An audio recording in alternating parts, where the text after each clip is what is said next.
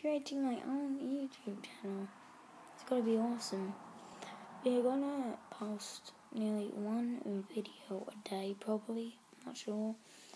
But yeah, this is the opening that I don't know what my YouTube channel is to be called yet because it's the first video that I'm to be making.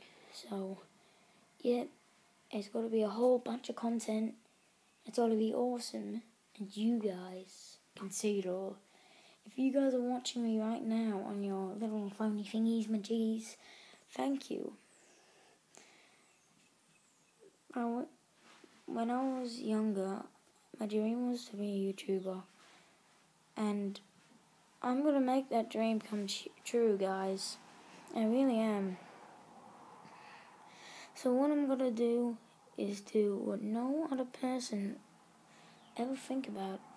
Open up my own YouTube channel. All the people in my family say you're crazy, but no. And just is the beginning. I'll see you guys later.